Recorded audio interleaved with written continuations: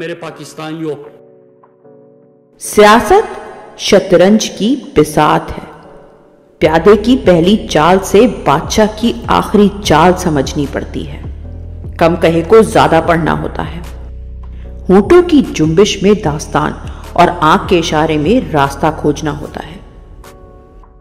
यूँ ही एक दिन एक इशारे का सिरा पकड़े पीआईडी गया और चंद सवाल छोड़ आया। घर पर अहबाब को कहकर आया था कि बस चंद लम्हों में हाजिर हुआ।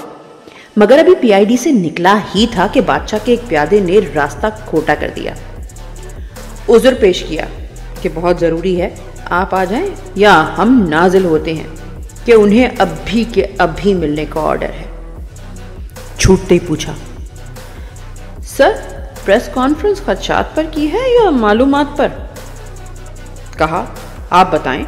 तस्दीक का फरीज़ा तो आपको तफवीज़ है। खदशे में सदाकत हो तो मालूम तस्वुर होती है। बोले, और आपसे किसने बुलवाया? मैंने कहा, किसी ने नहीं। यूँ ही बैठे बैठे दो और दो चार कर रहा था और जवाब पाँच आ रहा था तो सिरा ढूँढने चल पड़ा।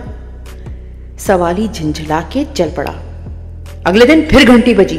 बोलाए बोलाए अफसर हाजिर हुए। सर, आपको वज़ीर आज़म ने कहा था प्रेस कॉन्फ्रेंस के लिए? पूछा।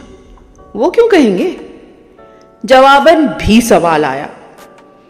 चंद दिन पहले अरशद शरीफ के प्रोग्राम में भी मुस्कुराते हुए कुछ ऐसा ही तस्करा किया था आपने। आप क्या जानते हैं? अब तो मुझे भी तजस्स हुआ कि मैं क्या जानता हूँ। अरशद से तस्करा किया कि इशारा तो कहीं और को किया था, तशवीश कहीं और उठ रही है। तो वो भी मुस्कुरा दिए। चंद दिन बाद वज़ीर आज़म के साथ मेहमंद का सफ़र दरपेश था। पूछा सर क्या इसराइल को तस्लीम करने के हवाले से सिर्फ़ बैरूनी दबाव है या अंदरूनी भी? खान साहब भी मुस्कुरा दिए। बोले, प्रेस कॉन्फ्रेंस की टाइमिंग अच्छी थी। अब तो मेरा भी मुस्कुराना बनता था। लंदन में होने वाली एक मुलाकात का तस्करा किया था मैंने अपनी प्रेस कॉन्फ्रेंस में। इसराइल के हवाले से इमरान खान की तकरीर का क्लिप चलाया था और साजिशों का ज़िक्र किया था। जो दो और दो चार मैं कर रहा था। उसमें पांचवा फरीक कौन था? उसका जवाब पीआईडी से मिनिस्टर इनक्लेव के रस्ते में मिल गया था। इसराइल पर इमरान खान का मौकफ क्या था, क्या है और क्या रहेगा? इसका जवाब मुझे तो इमरान खान के साथ सफ़र में ही मिल गया था। मुझे है हुक्म अजा। ला इलाहा इल्लल्लाह। आपको उसकी असीरी में यह जवाब ना मिले? तो दुनियावी ताकतों की आँखों में आँखें डालकर की गई, उसकी अकवाम मुतहदा में की गई, तकरीर में ढूंढ लें। बाकी गुत्थियाँ सुलझाने के लिए यूक्रेन जंग में हमारे करम फरमाओं के किरदार।